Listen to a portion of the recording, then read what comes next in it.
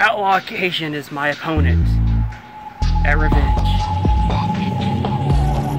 I find it funny that for all of Outlaw's bluster, all the shit that he talks, I remember to our very first run in WAW where he won his first title because of me. After that, he just kind of faded away until once again he challenged me for King of the Ring and the title at the same time.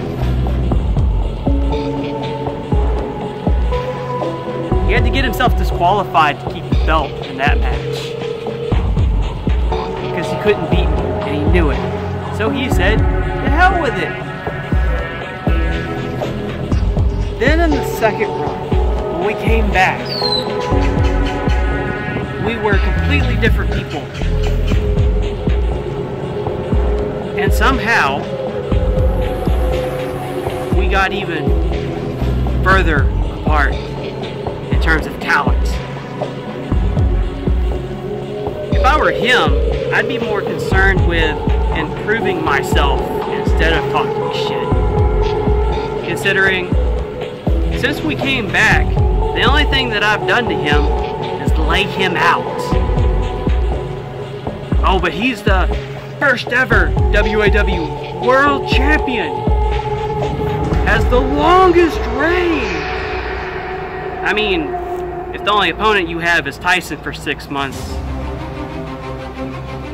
no shit, you were champion for six months. That's not that's not an accomplishment. You had it easy.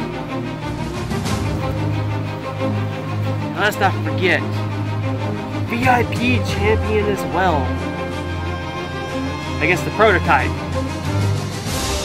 Do I retire? Nothing you do is impressive.